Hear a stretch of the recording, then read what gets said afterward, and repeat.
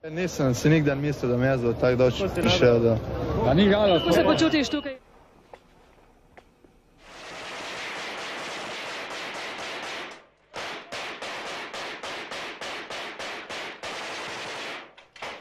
Bonjour, ici le chat pour euh, Groupe Montgris Canada. Aujourd'hui, dans la collection rétro, euh, une pièce d'équipement qui nous provient d'une tranche sombre de notre euh, histoire. C'est le casque yougoslave M59 version 85. Ce casque est inspiré du Stahlhelm euh, M35 de l'armée allemande, puisque après la Deuxième Guerre mondiale, euh, beaucoup de matériel allemand, dont les casques, ont servi euh, dans l'armée yougoslave.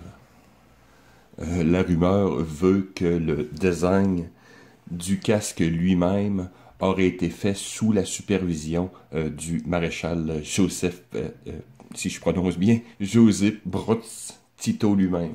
Ce casque a été produit euh, dans la ville de Kragujevac, euh, dans la Serbie actuelle. La désignation M85 indique euh, l'année de euh, de sa mise à jour. Euh, les différences entre l'ancien M59 et la version 85, euh, je vais vous montrer une image, est euh, la modification du rebord avant et arrière. Donc, il a été relevé à l'arrière euh, et remoulé aussi vers l'avant pour améliorer la vue un peu et réduire évidemment les accrochages dans les équipements. Aussi, le système intérieur a été euh, modifié avec euh, la sangle de nuque, l'ajout d'une boucle pour la jugulaire, euh, un renforcissement euh, des types de sangles intérieures, donc ils sont plus solides, et quelques autres petites variantes. Ces casques ont servi de manière intensive durant les guerres de Yougoslavie, euh, durant la guerre aussi euh, de Bosnie-Herzégovine, euh, ce qu'on appelle aussi euh, le génocide bosniaque. Donc, euh, selon les origines, euh, ces casques ont vu énormément d'histoires. Durant les différents conflits, euh, les différentes factions utilisaient du matériel similaire. Donc, qu'est-ce que les gens faisaient, c'est qu'ils apposaient simplement un décalque ou des graffitis sur le casque pour simplement identifier euh, à quelle faction ils appartenaient. Euh, mon casque, avec son étoile euh, communiste, appartenait à la République fédérative socialiste de Yougoslavie, donc avant 92, et vu son état général très propre, a dû être déployé s- dans une zone euh, non conflictuelle où a vu très peu, euh, donc on pourrait dire qu'il était au niveau euh, pratiquement administratif. Parce que vu l'état euh, que j'ai vu de certains casques et évidemment l'intensité de plusieurs des combats, euh, c'est quand même étonnant d'en trouver un qui est en très bon état. Bref, si votre casque pourrait parler, ne l'écoutez pas trop, vous risquez de faire des cauchemars. Maintenant, on va passer euh, en détail un peu les, euh, les différents points de ce casque. Donc, la coquille elle-même euh, est de forme d'inspiration allemande de la Deuxième Guerre mondiale et d'un vert pâle communiste très typique pour l'époque. Si je me fie à plusieurs tests balistiques que j'ai regardés euh, sur Internet, le casque euh, performe de manière très moyenne, voire sous les normes euh, de l'époque. Donc, euh, ce qui mettait toutes les factions, on pourrait dire, à égalité. Ce casque est de taille unique.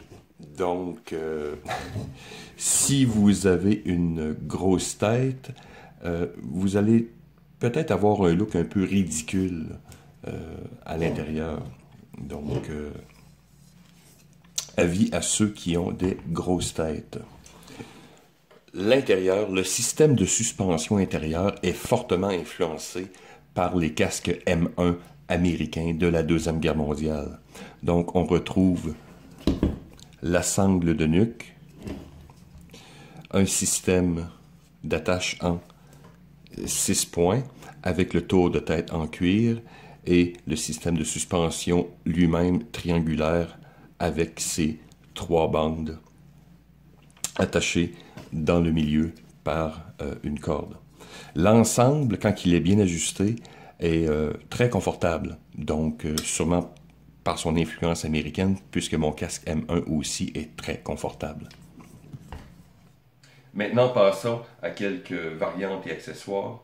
Le premier étant le couvre-casque M68, qui est en fait un filet de camouflage réversible vert et brun qui s'attachait par des sangles sur le casque.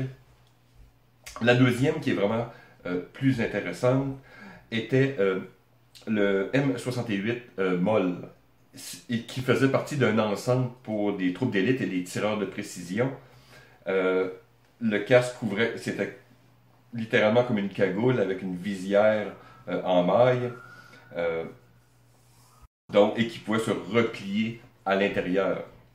Donc, ça fait un couvre-casque assez original et très rare sur le marché. C'est dur s'en procurer, donc euh, je vais essayer. Et j'ai essayé, et j'essaie encore de m'en procurer. Mais euh, voilà.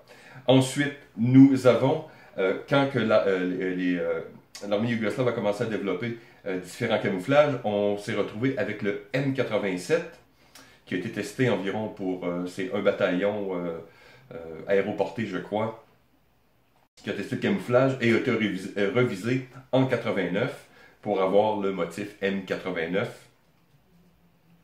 Et jusqu'à 92, sur le couvre-casse, on, avait l'étoile qui était brodée, l'étoile rouge brodée, qui va être ensuite retirée. Le camouflage va rester en service euh, après la chute de, euh, l'État. voilà.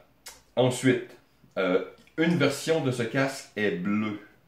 Donc, c'était pour les forces policières, qui est, qui est apparu, je crois, en 92 aussi et un couvre-casse assorti qui était un camouflage euh, que certains appellent le, tigre pourpre, mais il s'agit simplement d'un camouflage Tiger Stripes de couleur un peu étrange, gris, euh.